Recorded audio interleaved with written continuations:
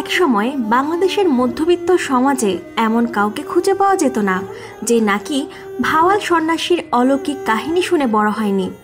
গল্পটা এমন, ভাওয়ালের মেজকুমার অসুস্থ হয়ে পড়লে দার্জিলিংয়ে যান সুস্থ হওয়ার জন্য।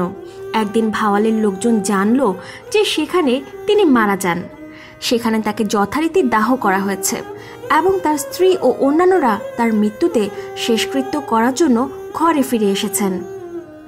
কিন্তু মৃত্যুর বারো বছর পর কুমার সন্ন্যাসীর বেশে ফিরে আসেন। কিন্তু রানী সন্ন্যাসীকে মেজকুমার বলে মানতে অস্বীকার করেন। মেজকুমার তার প্রাপ্য জমিদারি ফিরে পেতে মামলা করেন। ভাওয়াল মামলা সারা বাংলাদেশে তথা ভারতব্যাপী চাঞ্চল্য সৃষ্টিকারী ও বিশ শতকের প্রচার মাধ্যমে অন্যতম আলোচিত ঘটনা। আমাদের আজকের ভিডিও সেই ভাওয়াল সন্ন্যাসী রাজার কাহিনী। আমরা মন গড়া ও প্রচলিত রসালো কাহিনী না বলে চেষ্টা করব তথ্যের ভিত্তিতে এই ঐতিহাসিক ঘটনার সত্য তুলে ধরতে।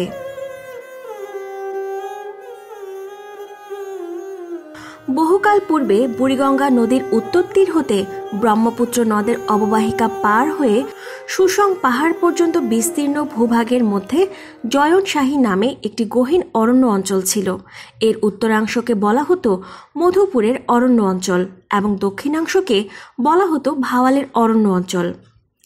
দ্বাদশ শতাব্দীর পরবর্তীকালে প্রায় ছয়শো বছর পাঠান ও মুঘলরা এই দেশ শাসন করে। তাদের আমলে এই আরণ্যকের মাঝখানে গড়ে ওঠে এক প্রশাসনিক অঞ্চল, যা ভাওয়াল পরগনা নামে পরিচিত। ভাওয়াল পরগনার উত্তরে আটিয়া ও আলিপসিং পরগনা। দক্ষিণে বুড়িগঙ্গা, পূর্বে লক্ষা নদী ও মহেরদি পরগনা এবং পশ্চিমে কাশিমপুর ও দুর্গাপুর পরগনা। বর্তমান গাজীপুর, টাঙ্গাই ও ঢাকা জেলার কিছু অংশ ছিল ভাওয়াল পরগনার অবস্থান।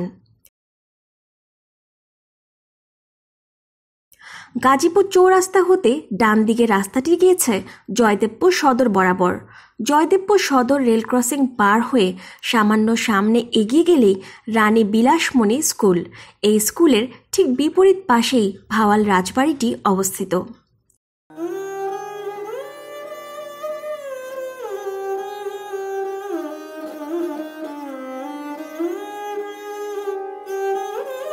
পাঁচ একর জায়গার উপরে কালে সাক্ষী হয়ে দাঁড়িয়ে আছে ঐতিহাসিক ভাওয়াল রাজবাড়ি।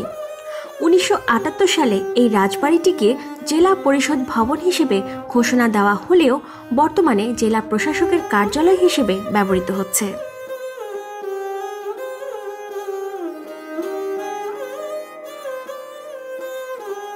এই রাজবাড়ির আওতায় ভাওয়াল পরগনা প্রায় পাঁচশো উনআশি বর্গমাইল এলাকা জুড়ে ছিল, যেখানে প্রায় পাঁচ লাখ প্রজা বাস করত। বিস্তৃতি, আয় ও মর্যাদার দিক থেকে ভাওয়াল স্টেট ছিল ঢাকার নওয়াব স্টেটের পরেই পূর্ববঙ্গের দ্বিতীয় বৃহত্তম ও প্রাচীন জমিদারি। সতেরো শতকের শেষ দিক থেকে এই স্টেটের উদ্ভব।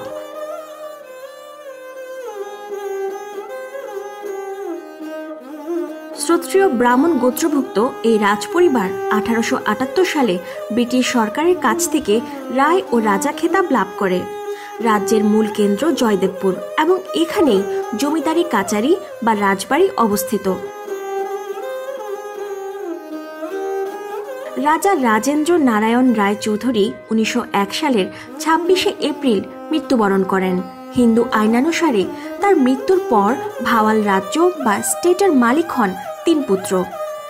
কিন্তু কুমারগণ নাবালক থাকায় তাদের মা রানী বিলাসমণি দেবী ট্রাস্টি হিসেবে স্টেট পরিচালনার ভার গ্রহণ করেন। আর এই কারণে ভাওয়াল রাজ স্টেট একসময় রানী বিলাসমণি স্টেট নামে পরিচিতি লাভ করেছিল। উনিশশো সাত সালের জানুয়ারি মাসে রানী বিলাসমণি মৃত্যুবরণ করেন।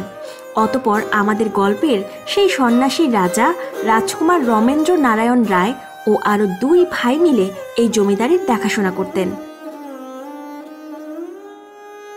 তিন কুমার সমান হিসায় ভাওয়াল স্টেটের মালিকানা প্রাপ্ত হন।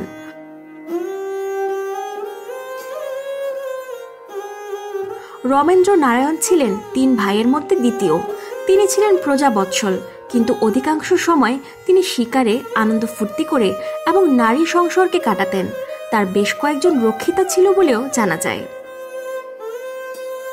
তার স্ত্রীর নাম ছিল বিভাবতী দেবী। তিনি ছিলেন অনিন্দ সুন্দরী, কিন্তু মেজ কুমারের সাথে তার সম্পর্ক ভালো ছিল না। কুমারের উদ্দাম জীবনযাপন ও নারী লিপসার কারণে রানীকে সময় দিতেন খুব কম। এই অবাধ যৌনাচারের ফলে কুমার সিফিলিস রোগে আক্রান্ত হন। উনিশশো নয় খ্রিস্টাব্দের এপ্রিল মাসের শেষ দিকে স্ত্রী বিভাবতী দেবী ও শ্যালক সত্যেন্দ্রনাথ বন্দ্যোপাধ্যায় এবং জমিদার মহলের এক বহর ভৃত্যসহ রমেন্দ্র নারায়ণ স্বাস্থ্য উদ্ধারের লক্ষ্যে বায়ু পরিবর্তনে দার্জিলিং যান। সেখানে তাকে মৃত বলে ঘোষণা করা হয় এবং যথারীতি দাহ করা হয় বলেও দাবি করা হয়।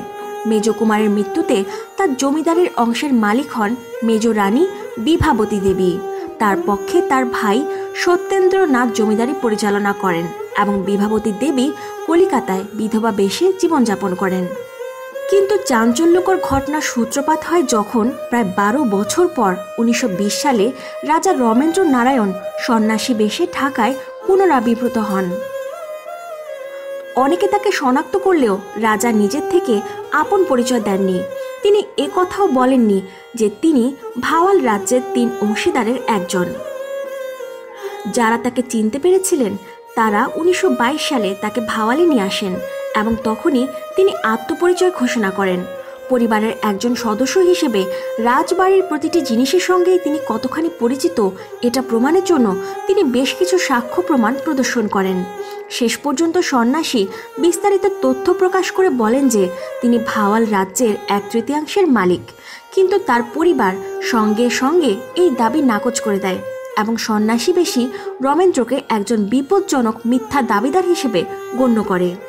রাজপরিবার এই ভণ্ড নাগা সন্ন্যাসীর হাত থেকে তাদের রক্ষা করার জন্য সরকারের নিকট অনুরোধ জানায়। রমেন্দ্রর কলকাতা নিবাসী স্ত্রী সন্ন্যাসীকে তার স্বামী হিসেবে মেনে নিতে বারবার অস্বীকৃতি জানান। আপোষে সমস্যার সমাধানের সকল প্রয়াস ব্যর্থ হলে উনিশশো সালের এপ্রিলের চব্বিশ তারিখে ভাওয়াল সন্ন্যাসীর আইনজীবীরা বিভাবতী দেবী ও অন্যান্য মালিকদের বিরুদ্ধে ভাওয়াল রাজবাড়ির সম্পত্তির অধিকার চেয়ে মামলা করেন। পান্নালাল বসুর কোর্টে তার মামলা পরিচালনার জন্য ব্যারিস্টার পি সি চ্যাটার্জিকে নিয়োগ করা হয়। কোর্টে সাক্ষ্য প্রমাণ দেওয়ার জন্য বহু সংখ্যক দেশি ও ইউরোপীয় বিশিষ্ট ব্যক্তিকে তালিকাবদ্ধ করা হয়। প্রত্যেকে নিজ নিজ সাক্ষ্যে শনাক্ত করেন যে সন্ন্যাসী আসলেই রমেন্দ্রনারায়ণ। কোর্টে রমেন্দ্রনারায়ণ দাবি করেন যে তিনি তার শ্যালক সত্যেন্দ্রনাথ বন্দ্যোপাধ্যায়ের ষড়যন্ত্রের শিকার। সত্যেন্দ্রনাথ এক বেকার স্নাতক। সে তার সন্তানহীনা বোনের সমর্থনে রমেন্দ্র জমিদারি অংশ নিয়ন্ত্রণ করার পরিকল্পনা করে। রাজা আরও দাবি করেন যে সত্যেন্দ্রনাথের ষড়যন্ত্র পরিকল্পনায় সহযোগী ছিলেন পারিবারিক চিকিৎসক আশুতোষ দাশগুপ্ত। রাজা রমেন্দ্রনারায়ণ ছিলেন সিফিলিসের রোগী। রোগমুক্তির কথা বলে তারা তাকে ষড়যন্ত্রমূলকভাবে দার্জিলিংয়ে নিয়ে যায়। রাজা জানালেন যে ওরা তাকে বিষ খাইয়ে মেরে ফেলতে চেয়েছিল। এবং রাতের অন্ধকারে তাকে দ্রুত দাহ করতে চেয়েছিল। কিন্তু এরই মধ্যে ওই এলাকায় হঠাৎ করেই শিলাঝড় শুরু হলে যেসব ভাড়া করা ডোম রাজাকে পোড়াতে নিয়ে গিয়েছিল, তারা তাকে ফেলে রেখে চলে যায়। ওই সময় একদল নাগা সন্ন্যাসী শ্মশানের পাশ দিয়ে যাচ্ছিল। তারা রাজাকে অজ্ঞান অবস্থায় পড়ে থাকতে দেখে। সন্ন্যাসীরা তাদের ডেরায় রাজাকে বহন করে নিয়ে যায় এবং তাদের সেবা শুশ্রূষায় রাজা আরোগ্য লাভ করেন। উভয় পক্ষ থেকে কয়েকশো সাক্ষী হাজির করা হয়। তাদের অনেকে সাক্ষ্য ছিল পরস্পর বিরোধী। বিবাদী পক্ষ কুমারের বোন জ্যোতির্ময় দেবীকে জেরা করা হয়। তিনি সন্ন্যাসীর পক্ষে ছিলেন এবং দাবি করেন সন্ন্যাসী কুমার। তিনি আরও দাবি করেন সন্ন্যাসীর চেহারায় তাদের বংশের ছাপ রয়েছে এবং সন্ন্যাসী বাংলা বলতে পারেন। বাদীপক্ষ কুমারের স্ত্রী বিভাবতী দেবীকে জিজ্ঞাসাবাদ করে। বিভাবতী দেবী কুমারের চেহারার সঙ্গে সন্ন্যাসীর কোনো মিল নেই বলে দাবি করেন। রমেন্দ্র নারায়ণের অনুকূলে আদালতে বেশ কিছু আলামত পেশ করা হয়, যার মধ্যে ছিল নানান ছবি, চিত্র, শারীরিক চিহ্ন, পরিচিতদের চিঠিপত্র ও বিবৃতি ইত্যাদি। এসব সাক্ষ্যের প্রায় সবগুলোই প্রমাণ করে যে সন্ন্যাসী প্রকৃতপক্ষে রমেন্দ্র নারায়ণ রায়। বিজ্ঞ বিচারক পরিশেষে উনিশশো সাঁইত্রিশ সালের বাইশে ডিসেম্বর তার রায় প্রদান করেন যে এই সন্ন্যাসী ভাওয়াল রাজ্যের সহ অংশীদার কুমার রমেন্দ্র নারায়ণ রায়। কিন্তু তার স্ত্রী বিভাবতী ওই রায় না মেনে উচ্চ আদালতে অ্যাপিল করেন। কলকাতা হাইকোর্ট জেলা জজের রায় বহাল রাখে। তবে বিভাবতী দেবী হাল ছাড়তে রাজি হননি। বাদী প্রিভি কাউন্সিলে মামলাটি স্থানান্তরের জন্য আবেদন করে। লন্ডনের প্রিভি কাউন্সিল আপিল শুনতে রাজি হয়। লর্ড থাঙ্কেটন, লর্ড হাবার্ট ডু পার্স্ক এবং স্যার চেতুর মাদবান আপিলের বিচার করেন। আটাশ দিন ধরে শুনানি চলে। উনিশশো ছেচল্লিশ সালের জুলাই তিরিশ তারিখে বিচারকেরা দাবিদারের পক্ষে রায় দেন এবং আপিল নাকচ করে দেন। পরের দিন কলকাতায় টেলিগ্রাফ মারফত মামলার রায় জানানো হয়। এত কিছুর পরেও নরেন্দ্র নারায়ণ রায় তার প্রাপ্য জমিদারি ভোগ করতে পারেননি। কারণ চূড়ান্ত রায়ের ফল শোনার একদিন পর তিনি কলিকাতায় হৃদরোগে আক্রান্ত হন। এর দুই দিন পর মৃত্যুবরণ করেন। ভাওয়াল সন্ন্যাসী মামলাটি এতই উত্তেজনাপূর্ণ ছিল যে মামলা যতই গড়াতে থাকে, ততই দেশের সকল পত্রপত্রিকায় নানা মন গড়া মন্তব্য ও রসালো কাহিনী প্রকাশ পেতে থাকে। এমনকি ঘটনাটি সারা ভারতবর্ষের বিভিন্ন ভাষায় সাহিত্য, নাটক এবং সিনেমারও বিষয়বস্তু হয়। বিখ্যাত বাংলাদেশের সিনেমা ব্যক্তিত্ব আতাউর রহমান উনিশশো ছেষট্টি সালে নির্মাণ করেন রাজা সন্ন্যাসী। একই বছর রৌনক চৌধুরীর পরিচালনায় মুক্তি পায় ভাওয়াল সন্ন্যাসী। উত্তম কুমারের বিখ্যাত চলচ্চিত্র সন্ন্যাসী রাজা মুক্তি পায় উনিশশো পঁচাত্তর সালে। ছবিটি তেলেগু ভাষায় রিমেক হয় উনিশশো সাতাত্তর সালে। হাল আমলে সৃজিৎ মুখোপাধ্যায় নির্মাণ করেন এক যে ছিল রাজা, যা মুক্তি পায় দু হাজার আঠারো সালে। বেশিরভাগ কাহিনীতেই সত্য ইতিহাস তুলে না ধরে মন গড়া গল্প বলা হয়। আমাদের দেশে প্রায় সকলেই মেঝ রানী বিভাবতীর সাথে ডাক্তার আশুতোষের প্রেম ও তারা ষড়যন্ত্র করে বিষ খাইয়ে কুমার রমেন্দ্র নারায়ণকে মারতে চেয়েছিলেন এমন প্রচলিত ধারণা বিশ্বাস করেন। কিন্তু বাস্তবে দেখা যায়, রানী কুমারের কথিত মৃত্যুর পর কলিকাতায় বিধবা হিসেবে সারা জীবন যাপন করেন। আর ডাক্তার আশুতোষ থাকেন ঢাকায়। আসলে কুমারের অন্তর্ধানে মূল লাভ হয়েছিল রানীর ভাই সত্যেন্দ্রনাথের। সেই জমিদারি চালনার কৃতিত্ব লাভ করেছিল। কুমার রমেন্দ্র নারায়ণ নিজে কোর্টে অভিযোগ করেন, তিনি তার শ্যালক সত্যেন্দ্রনাথ বন্দ্যোপাধ্যায়ের ষড়যন্ত্রের শিকার। মূল পরিকল্পনাকারী সত্যেন্দ্রনাথ সম্পত্তির লোভে ডাক্তার আশুতোষকে নিয়ে ষড়যন্ত্রের ছক কষে। বিভাবতী দেবী হয়ে যান ভাইয়ের অর্থলিপসার শিকার। ভাওয়াল সন্ন্যাসী মামলার পরে জমিদারির উত্তরাধিকারের বিষয়টি শেষ পর্যন্ত জটিল হয়ে পড়ে এবং ফলে এর ব্যবস্থাপনা উনিশশো পঞ্চাশ সালে জমিদারি প্রথা বাতিল না হওয়া পর্যন্ত কোর্ট অফ ওয়ার্ডসের অধীনেই থেকে যায়। যেহেতু উত্তরাধিকারী নিয়ে বহু জটিলতা ছিল এবং জমিদারি সংক্রান্ত বহু মামলাও অমীমাংসিত ছিল, সেই কারণে জমিদারি প্রথা বিলুপ্ত ঘোষণার পরেও এর বিষয় সম্পত্তি বা দায় দায়িত্ব যথাযথভাবে বন্টন করা সম্ভব হয়নি। ফলে পাকিস্তানি আমলেও জমিদারিটি কোর্ট অফ ওয়ার্ডসের অধীনেই থাকে। বর্তমানে ভাওয়াল স্টেটের কর্মকাণ্ড গণপ্রজাতন্ত্রী বাংলাদেশ সরকারের ভূমি সংস্কার বোর্ড পরিচালনা করে। এভাবেই সতেরোশো চার সালে কৃষ্ণনারায়ণের মাধ্যমে প্রতিষ্ঠিত ভাওয়াল জমিদারি দুশো ছেচল্লিশ বছর পর উনিশশো পঞ্চাশ সালে সমাপ্তি ঘটে। বংশের শেষ জমিদার রমেন্দ্র নারায়ণ রায়ের রূপকথার কাব্য যেন মানুষের জীবনের আনন্দ, বেদনা, ভোগ, কষ্ট, সংগ্রাম ও হতাশার এক সুনিপুণ চিত্রকল্প। মাঝে মাঝে ইতিহাসে আমাদের এমন ঘটনার পাঠ নিতে হয়, যার সাথে চলচ্চিত্রের কাল্পনিক গল্পের পার্থক্য করাই মুশকিল হয়ে পড়ে।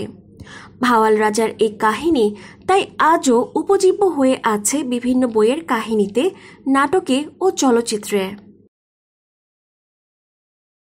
ভিডিওটি যদি ভালো লাগে, তাহলে এমন আরও ভিডিও পেতে আমাদের চ্যানেলটি সাবস্ক্রাইব করুন। ভালো থাকবেন।